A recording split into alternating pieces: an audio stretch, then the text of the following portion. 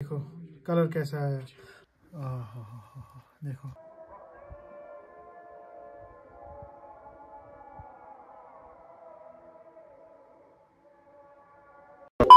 Aslam and welcome back to my another vlog. उम्मीद है कि आप सब खैरियत से होंगे और आपके रमज़ान अच्छे से गुजर रहे होंगे।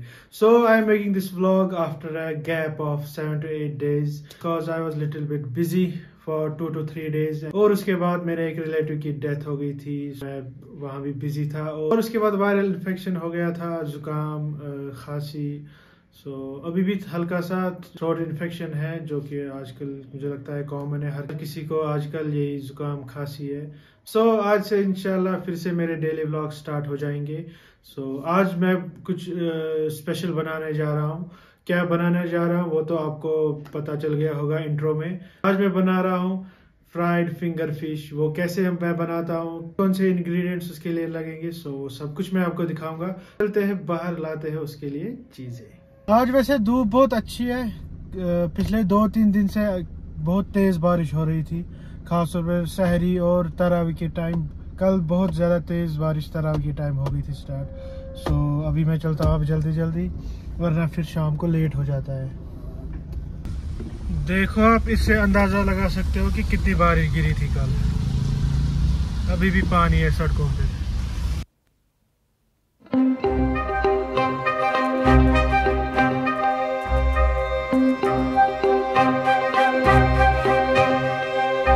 ये है जी बोनलेस फ़िश हमें बनानी है फिंगर फ़िश और इसीलिए इसको हम रेक्टेंगल शेप में काटेंगे।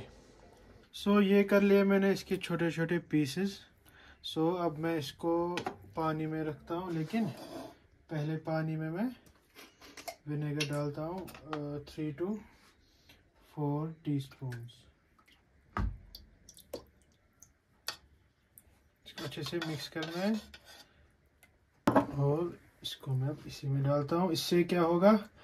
इससे जो स्मेल होती है फ़िश में वो पूरी ख़त्म हो जाती है। इसको मैं अब फाइव टू टेन मिनट्स ऐसे ही रखता हूँ और उसके बाद देखते हैं इसकी कंडीशन क्या होगी और उसके बाद इसको मैरिनेट करते हैं। तब तक के लिए जो पिछली बार हमने पिज़्ज़ा ब्रेड बनाया था उसके कुछ ब्रेड ऐसे ही है उसके हम ब्रेड क्रम्स बनाते हैं। और इसके लिए हमें मियोनिस भी बनानी है वो भी मैं आपको दिखाऊँगा कि मैं मियोनिस कैसे बनाता हूँ। सो so, ये है ब्रेड इसको डालेंगे अब हम। इसमें। बनाते हैं इसको अब अच्छे से bread A few moments later. So so, ये हो गए हमारे ब्रेड क्रम्स तैयार देखो। सो टेन मिनट्स हो गए। अब देखते देखो। जो इसकी गंदगी वंदगी थी वो भी साफ़ होती है इससे। अब इसको हम वॉश करेंगे अच्छे से दो तीन बार। अच्छा अब हम फ़िश को मैरिनेट करेंगे। फ़िश मैंने अच्छे से वॉश कर लिया। इसमें पहले जाएगा सॉल्ट अब ऐड करेंगे रेड चिली पाउडर ये अपने टेस्ट के अकॉर्डिंग करना। अब इसमें मैं ऐड करता हूँ ब्लैक पेपर अब इसमें मैं ऐड करता हूँ विनेगर अब इसमें मैं फ़ूड कलर ऐड करूँगा। अगर आप चाहे तो आप ये स्किप भी कर सकते हो। हल्का सा, ज़्यादा नहीं। है फ्लावर मैदा, इसको मैं अब ऐड करता हूँ इसमें। ये है एक एग इसको भी मैं ऐड करता हूँ। तो ये हो गए पूरे मसाले मिक्स देखो कलर कैसा है अब इसको रखता हूँ मैं आधे घंटे के लिए मैरिनेट तब तक के लिए मैं बनाता हूँ मैं बनाता हूँ मियोनीज़ इसके लिए इंग्रेडिएंट्स है ये एग ये है ऑयल और लगेगा इसके लिए गार्लिक मैं बना रहा हूँ, ये गार्लिक मेयो वो पहले डाल दे इसमें एग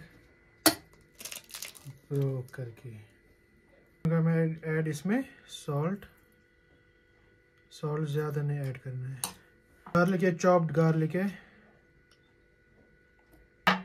पहले हम इसको मिक्स करेंगे। देखो ये अच्छे से मिक्स हो गया। अब इसमें मैं ऑयल ऐड करूँगा। एक साथ ऑयल ऐड नहीं करना है रुक रुक के करना है मिक्स करके। इतना डाल के मैं इसको दो से तीन मिनट मिक्स करूँगा। उसके बाद फिर से ऑयल ऐड करूँगा दो से तीन मिनट मिक्स करूँगा। ऐसे ये थिक बनेगा।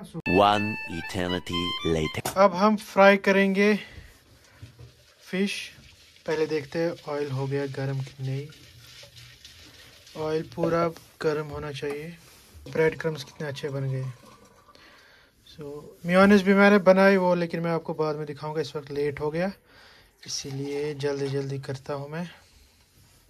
देखो स्टेप अब ये मैरिनेटेड फ़िश डालूँगा मैं इसमें ब्रेड क्रम्स में। अच्छे इसको अच्छे से इसको कोट करेंगे। जाएगा सीधे ऑयल में। देखो। ऐसे ही स्टेप करना है हर को ये हो गई दूसरी वाली। इसको फ्राई अच्छे से करना है ताकि फ़िश अच्छे से फ्राई हो जाए। A few moments later. देखो ये एक साइड से शायद हो गई फ्राई अब इसको हम अब इसको मैं टर्न करता हूँ दूसरे साइड से फ्राई करते देखो।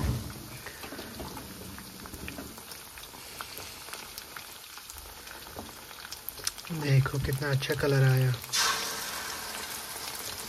ये हो गए फ़िश फ्राई। अब इसको प्लेट में निकालेंगे। इफ्तार का टाइम भी पहुँच गया। इसलिए जल्दी जल्दी अब निकालते हैं प्लेट में।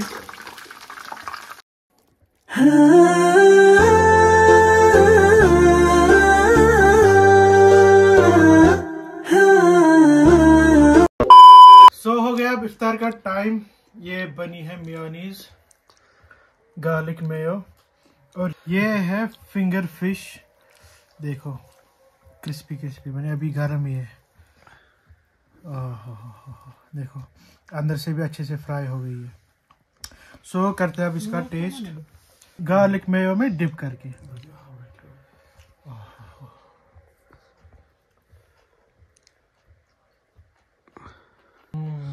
Smell. मज़ेदार मज़ेदार बाहर से क्रंची है और अंदर से पूरा सॉफ्ट है देखो। और इस डिप के साथ टेस्ट और भी अच्छा आता है। आप भी मेरी ये रेसिपी ट्राई करना और फिर कमेंट्स में लिखना कि कैसा बना है। सो so, करता हूँ मैं फिनिश अब मिलता हूँ थोड़ी देर में।